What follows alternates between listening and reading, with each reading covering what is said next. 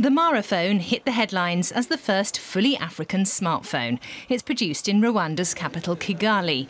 Based in the city's economic zone, the company has 200 employees, 90% of which are local. This is one of the unique um, initiatives that changed the narrative from being a consumer to become a producer. We are proving today that we can also have a high level of technology to produce very good devices then to the international level, uh, and that is made in, in Africa. Embossed with a lion on the back, the phone is also a story of pride.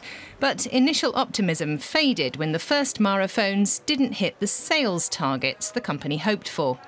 There was a lot of hesitation in the beginning. But the, the great surprise that came out of it, we started in, uh, on the 7th of October, which is about three months ago. But today we've exported for over 53 countries. While the phones have fans in Germany, Switzerland, and Nepal, they're relatively expensive for the local market.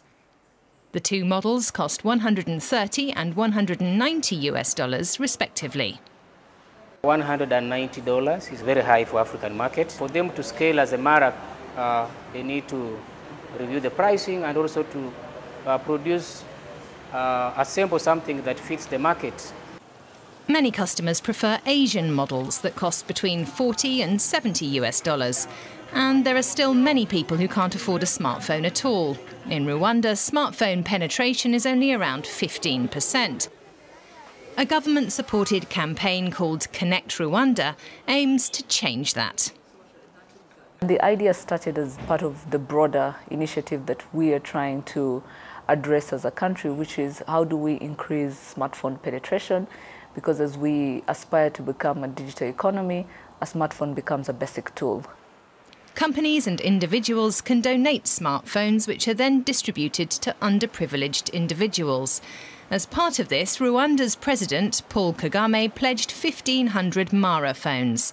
Many others followed, leading to a boost in the company's sales our next generation of phones, which will be released before the end of 2020, will even go down. So we'll be able to produce a smartphone that will be much, much cheaper than the current price.